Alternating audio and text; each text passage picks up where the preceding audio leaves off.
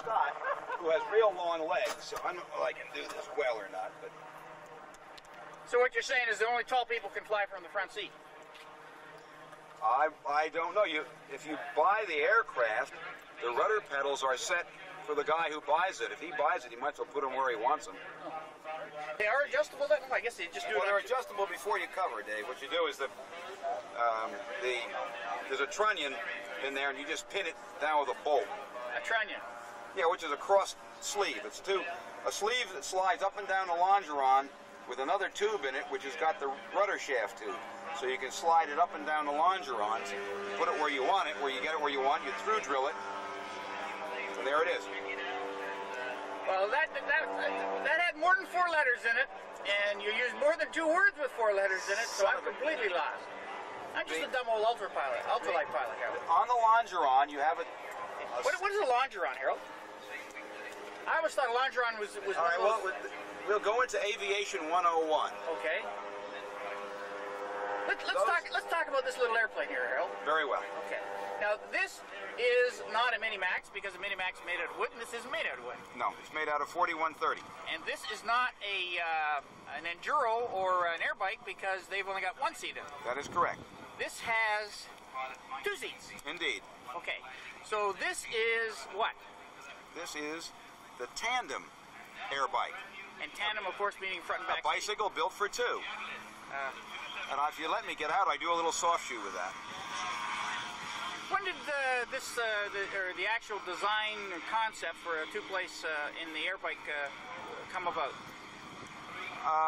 Shortly after we brought the original model here three years ago, because people started berating us for not having two seats.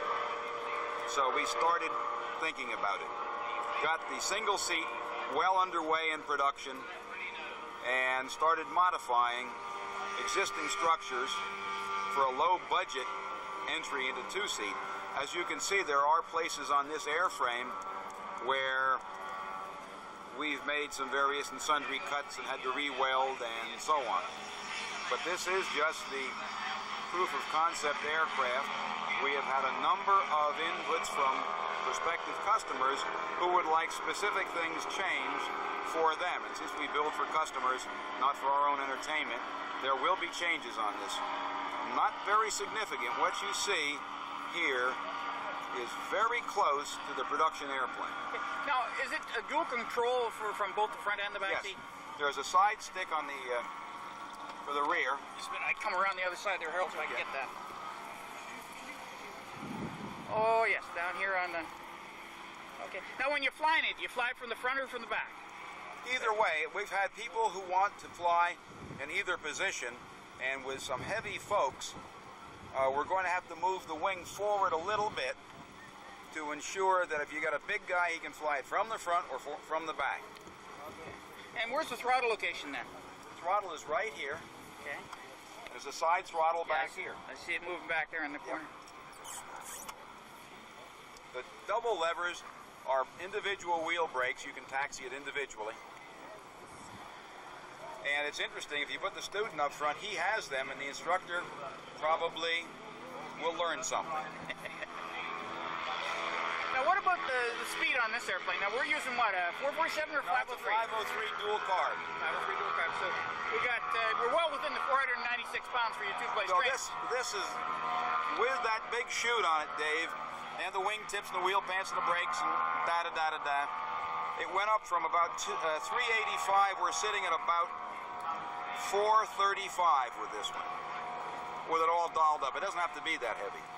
Now, what kind of performance are we getting out of it with the 503 then? And uh, Oh, quite good, people? especially uh, well with two people on it.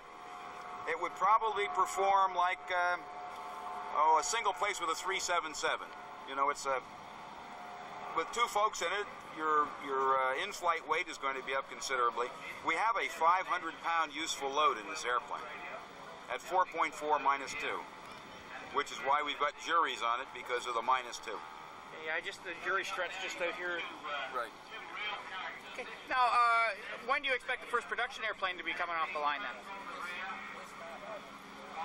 by Oshkosh.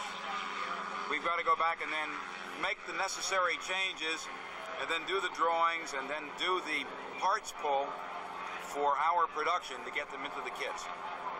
And uh, building time wise, do you feel that it's going to be about the same as what the air bike is now, or a little Uh, longer? Dave, it depends upon whether or not you buy pre-built options with it. If, let us say you bought a basic kit to keep the overall cost down, I would have to say it's going to be about the same time as a Minimax because it's a bigger wing and it's a bigger structure. and we're using a basic Minimax wing on it then? Very similar. The ribs are identical, which means the spars are the same height and width. But there is a considerable difference in the spars and in the compression and anti-drag members. And there are, of course, doublers in areas where you have juries. Plus, the wings attach at the bottom of the spar in this, and they don't in a Minimax, they attach at the top. So there are subtle differences. What else can I ask you, Harold? I don't know. It's uh, the the control system is a very smooth system. It's similar to our standard air bike. Very light controls. We're using uh, what, Teleflex or push pull? yes, Teleflex. Teleflex. The we have full span ailerons, but we also have full span flaperons because a training airplane. We have a switch panel up here, and if you want flaps, you simply push the button, and the flaps go up, or the flaps go down. And and they and you still have full aileron deflection at All full flap. Holy, that is a lot of flap. It's a lot of flap. But it is a training aircraft, so they did decide to go with flaps. On, that is common in the certified aircraft business, and obviously we don't want to get perpendicular to the folks who make real airplanes. Now, as far as the airplane itself, it, it's coming as a basic kit. Then, what are some of the options for it? The options will be the dress-up things like the wheel pants, the wingtips. You can get a, a, a more sophisticated panel. Um, you can get um, different seating. The ballistic chute is an option, and for a training aircraft, that may very well be the something that's a what would you call it a, a preferred option. Um, let me see what else. Electric start? Oh, the electric start is going to be an option. We do have an electric start on it. It works very nicely. Uh, we do have uh, electric elevator trim, same as the uh, flaps. If we can get a nice four-stroke on this, I think it'll appeal to a broader group of people who want to do training. I I think that there still is a, a bias against the two strokes, even though, as you know, over the past several years, the reliability has gone up quite nicely. Thank you very much for your time, Harold. Okay, Dave.